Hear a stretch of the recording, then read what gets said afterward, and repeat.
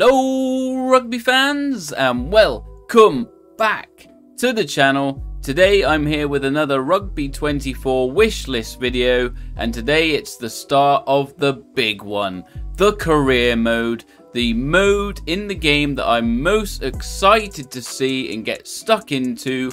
What do I wish and hope is in that game mode that's what I'm going to break down in today's video and I'm splitting it in two parts which I'll, I'll explain about a bit more shortly. But before we get into it, please do drop a like if you enjoy this content. Uh, leave a comment down below, give me your thoughts and what you want to see in the career mode on Rugby 24. Always interested to hear what you guys have to say, so drop it down in the comments below. And if you haven't already, please do maul that subscribe button to stay up to date with all things Rugby 24, all things rugby video games as well. Please do follow me on my socials where I do stuff on there as well. Short format rugby gaming videos.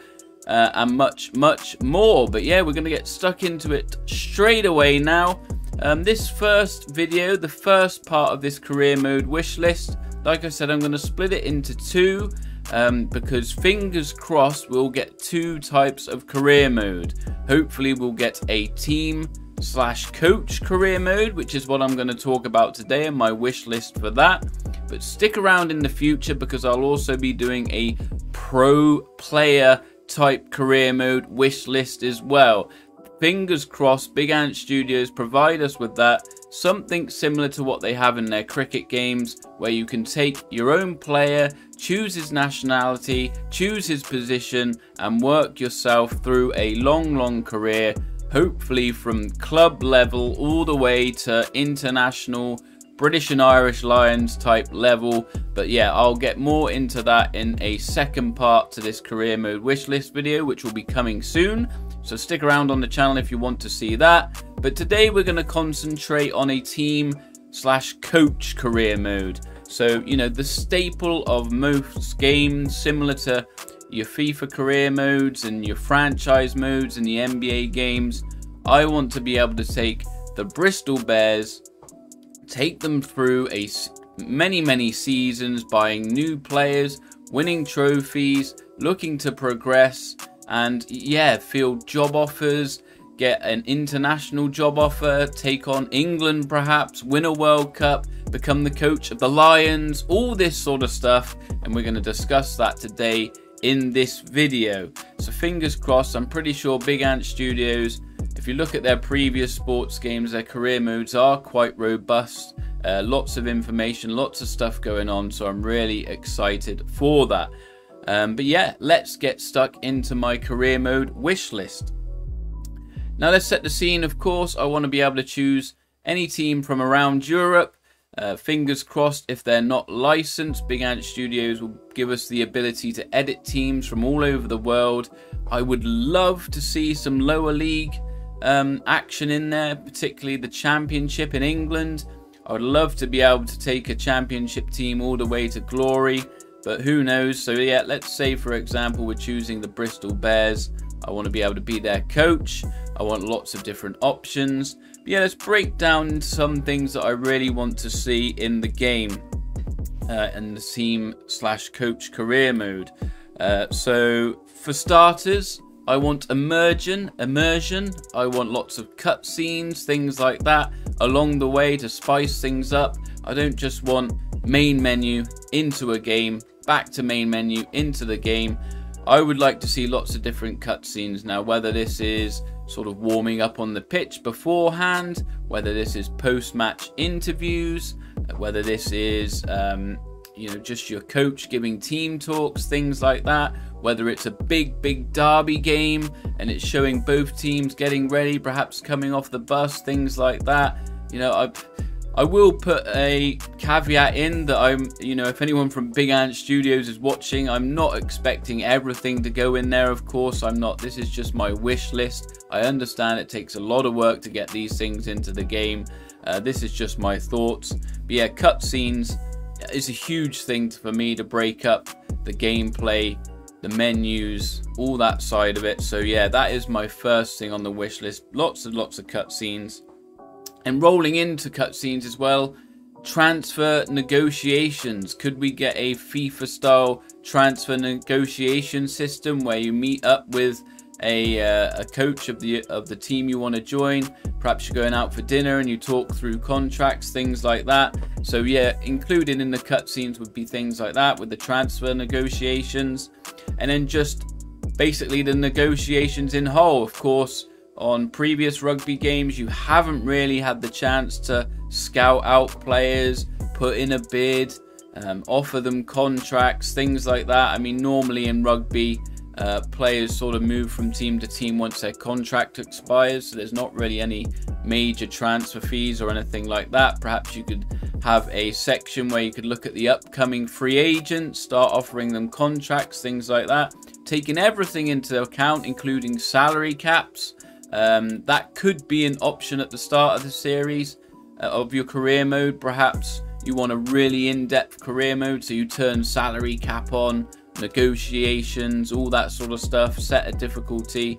And if you don't want all of that and you just want to sign all the players you want, perhaps you could turn that off before you start the career mode and you could have a more unrealistic but fun career mode like that.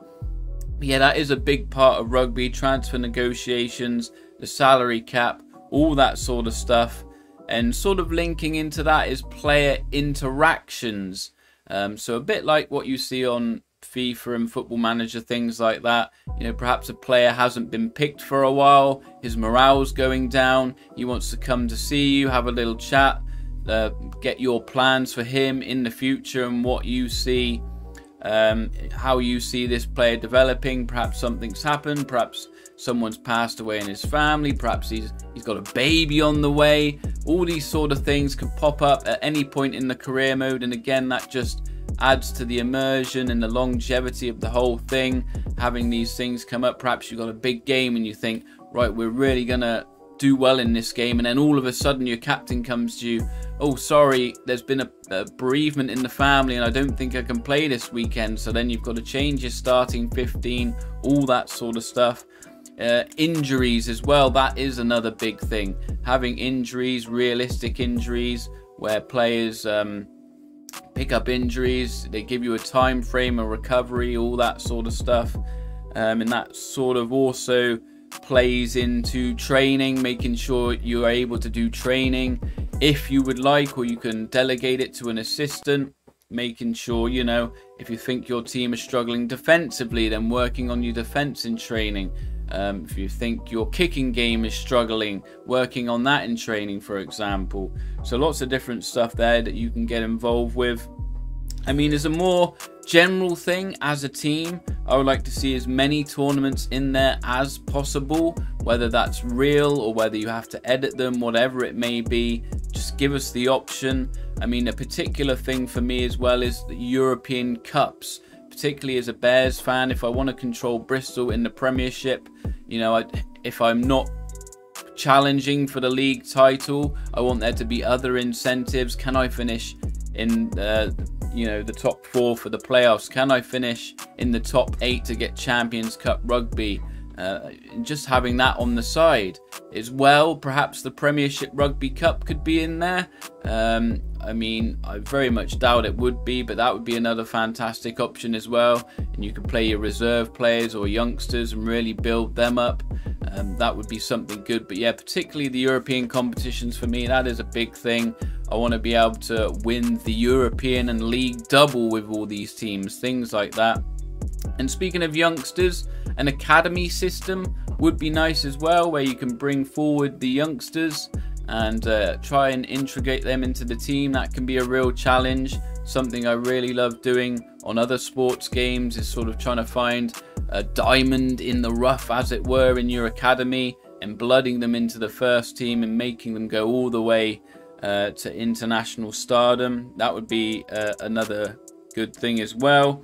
Um, so yeah, basically having your full pathway from the academy all the way to international um, international rugby. Speaking of international rugby, I would love to see the proper world ranking system implemented into the game. So, say you've done well with a club team, you've got your job, you've got your international offer.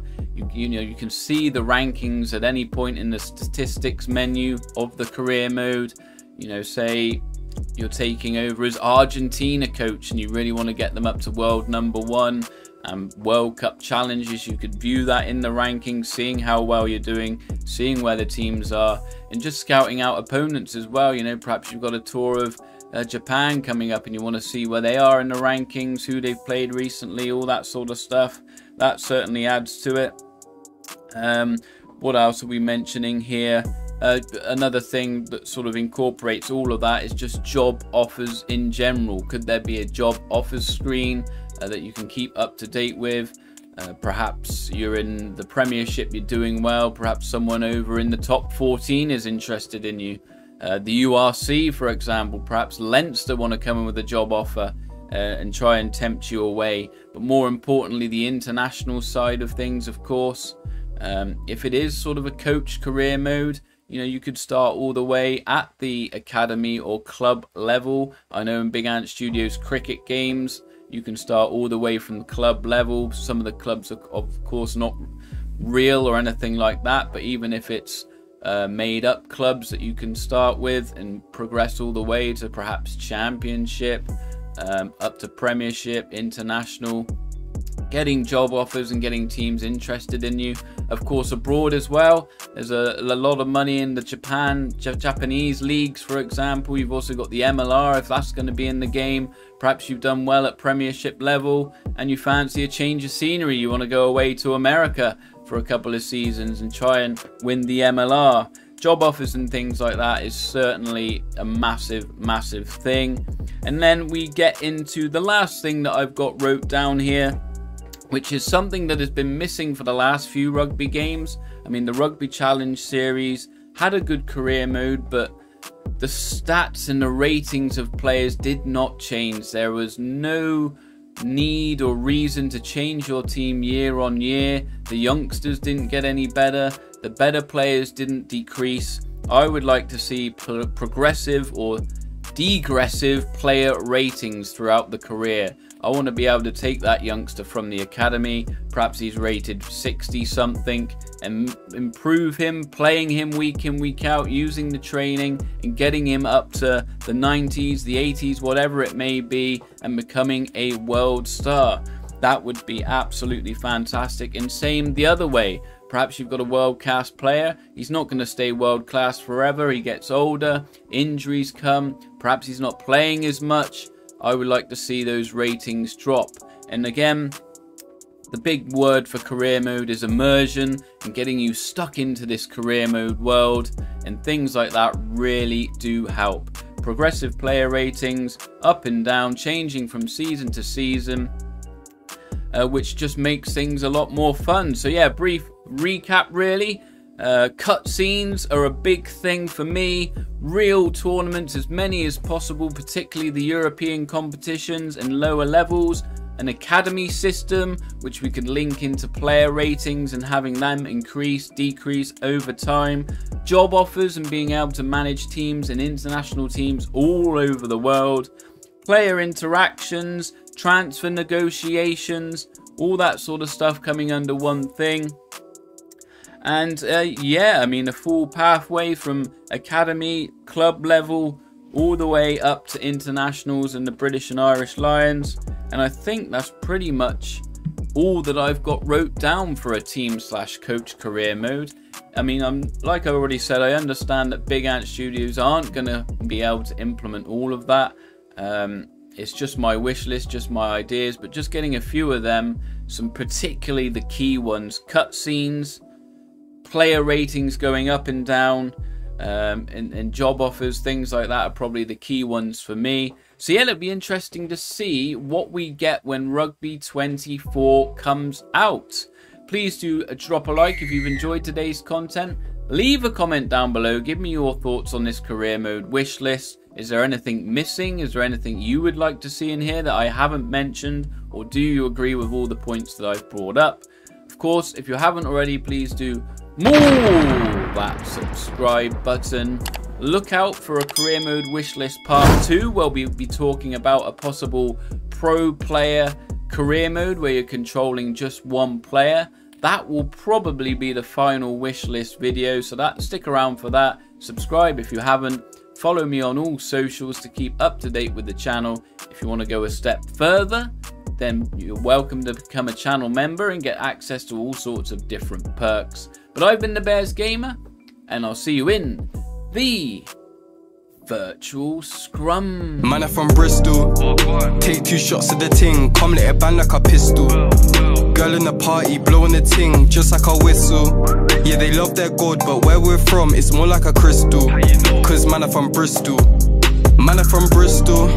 Take two shots of the ting, come let it bang like a pistol. Girl in the party, blowing the ting, just like a whistle.